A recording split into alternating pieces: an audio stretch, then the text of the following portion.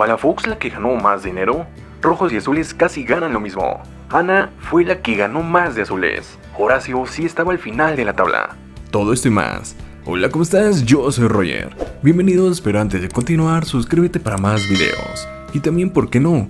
Platicar por Instagram, yo soy Roger Oficial. Pero bueno, el motivo de este videito es platicar la información que nos compartió Christian Bexatlón. Información de los premios en efectivo e información de la tabla de rendimiento. Pero muchas gracias primero agradecimiento a Christian por compartir toda esta información tan detallada.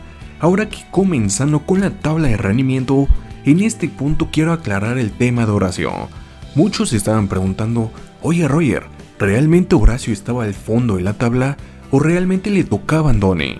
Pero podemos ver en dicha tabla información totalmente verídica que Horacio de los Hombres Azules sí era el último con un 48% de efectividad. Tavo era el penúltimo, 50% de efectividad, y Andoni era el antepenúltimo, en 53% de efectividad. ¿Cuál es la diferencia o por qué Andoni estaba arriba de ellos dos? Es por un simple motivo. Aunque por ejemplo Tavo tenía el doble de victorias, tenía también casi el doble de derrotas, por lo que al haber entrado posteriormente prácticamente como refuerzo a Andoni, esto le estuvo favoreciendo. Pasó menos veces, pero ganó más de esas veces. El hecho de que haya pasado más ocasiones Tavo y el hecho de que haya pasado más ocasiones Horacio provocó que bajaran en rendimiento, porque las derrotas fueron mayores. Pero como te digo, la simple explicación es que Andoni pasó muy pocas veces, siendo este el motivo por el cual Andoni se encontraba arriba de Tavo y arriba de Horacio creo que es un tema que se tenía que aclarar para cerrar bien el ciclo y la despedida de Horacio, participante de contendientes que ganó todo el cariño de los azules, y que esperemos que próximamente en una séptima temporada lo estemos viendo de nuevo participar.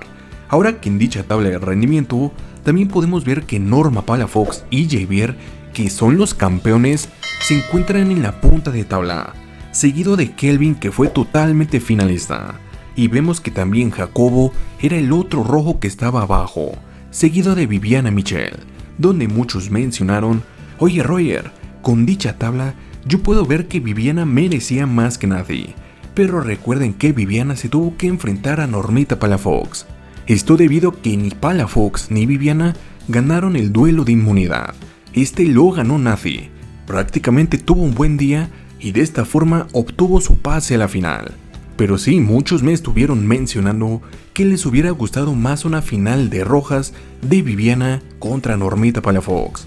Y obviamente los seguidores azules me estuvieron mencionando que la final de mujeres, la favorita hubiera sido Anita contra Normita. Ahora el segundo tema que creo que les interesa muchísimo a todos ustedes es cuánto ganaron los participantes. Comenzamos del lado de rojos. Vemos que Palafox se llevó 94 mil dólares, siendo la participante de esta temporada que se llevó más dinero.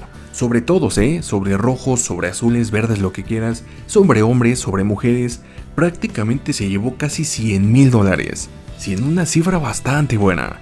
Seguido de Javier Cintrón con 77 mil dólares, Jacobo García con 49 mil dólares, Viviana Michel con 50 mil dólares y Nafi Sánchez con 41 mil dólares siendo un total total de famosos el de 471 mil dólares. Sumando todos, eh, todos, el de Mac, todos los participantes rojos estuvieron sumando 471 mil dólares, sin una cantidad bastante buena. Y del lado de azules, podemos ver que la mujer que se llevó más dinero de azules es Ana Parra, con 68 mil dólares, Tabo González 64 mil, Kelvin 52 mil, Horacio 44 mil, Andoni 42.000 y el total de azules total total sobre todos los atletas azules que estuvieron en esta temporada fueron 416 mil dólares. Como podemos ver, hay una diferencia entre rojos y azules de aproximadamente 60 mil dólares, siendo muy poca la diferencia en premios. Si comparamos cuánto se llevó rojos con azules, la diferencia es prácticamente 60 mil dólares. Como podemos ver, fue bastante parejo en premios pero sí Normita Palafox fue la que se llevó más premios en esta temporada. pero creo que es información totalmente interesante que todos queríamos conocer. ¿Cuánto dinero se llevaron los atletas? Pues ya lo conoces. ¿Quién se llevó más dinero? Normita Palafox. De los rojos y azules, ¿quién se llevó más dinero? Sí, se llevaron más los rojos, pero por una diferencia de 60 mil dólares, que la verdad es muy poco. A los azules les fue bastante bien. Por ejemplo, la reciente salida Horacio se llevó 44 mil dólares, esto conformado con todos los premios que fue ganando en esta temporada, siendo una cantidad muy interesante, una cantidad muy buena. Pero bueno, siendo es la información que tenemos hasta el momento, donde recuerden la fuente de información es Christian Bexatlón. Muchísimas gracias Christian por esta información. Pero bueno, me despido. Deseo que tengas un hexatlón increíble, un hexatlón delicioso.